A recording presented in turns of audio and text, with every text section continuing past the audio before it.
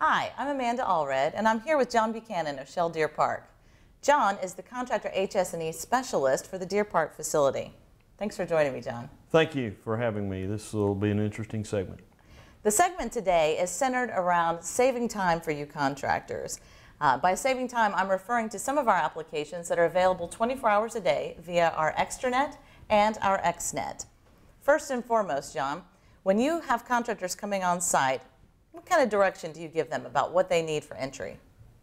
We provide a list of our training programs or our training that is required and basically tell them that the biggest majority of that list of products can be taken here at the Houston Area Safety Council and fully expect them to be in compliance.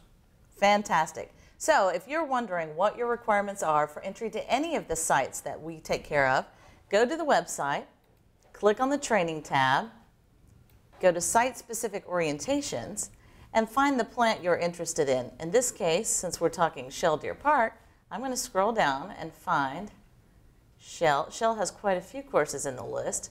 Let's go with your site-specific. Okay. Voila, Shell T. So as you can see, by clicking on this hyperlink, we see all of the requirements for entry. The 19 Shell T site-specific, Basic Plus or Refresher, and NASAP compliance. Additionally, you'll get some information about the requirements, approximately how long the course is, that it's English only, and the passing score is 80. Very simple to use. So now you know what you need. The next step is registering your employees for this training experience. So to register, you click on the Register tab on, under the extranet, and this is only available to members. So it's an important distinction. Non-members register via fax. They have to pay upon entry to the, the Safety Council. Members mm. are billed and have the ability to go online 24 hours a day to register for training. So the first step is to select the training location. As you know, John, we're members of ARSC, and therefore many of our courses are available at other safety councils within that association. Your course specifically is offered at all of the councils within ARSC. But for the purposes of this demonstration, we're going to talk about Houston Safety Council. So we're going to pick our Deer Park headquarters, and then we're going to enter some trainees. Uh, for this example, I'm going to do multiple trainees all going to the same site to show you how easy this is for contractors. Okay. So I'll pick myself first, and then I'm going to pick my sidekick, Cami. So simply by typing in their social security number or whatever their trainee ID is, I've pulled up the two individuals. You can see their photo is on file. You can see their name and their trainee ID. The next step is to choose the date of training. So again, for our purposes today, I'm going to select today. Um, but you can pick any time in the future up to a certain period of time. We don't open it for the full year necessarily. And this experience is limited to a certain time window. So if a trainee was registered for today, technically that registration is good for a few days from now. Right. So that in the event there was bad weather or they were coming in from out of town, the company doesn't have to re-register them. That's still going to be an active registration. But you do try to aim for the date that you're going to send the trainees. The next step is to choose the courses. So again, we looked at your Shell requirements. One of those was Basic Plus. So I'm going to register Cami and Amanda for Basic Plus. So if I can't find it, I'm so close. Basic Plus Houston. So Cami and Amanda are going to take Basic Plus, but we also have another requirement. We have 19 Shell T. Right. So I'm going to scroll way down to the S's and find the shells. So here we go. And I'm going to do a little bit more in this example because I, I, want employers to see how easy all of this is. Some of your contractors are required to wear respiratory protection. Isn't that correct? That's correct. So uh, they can conceivably use the Safety Council for their pulmonary function testing, their respirator fit testing, as well as their supplied air testing. That's correct. So I'm going to register for PFT, respirator, if I can find it. Whoops, supplied air, I said.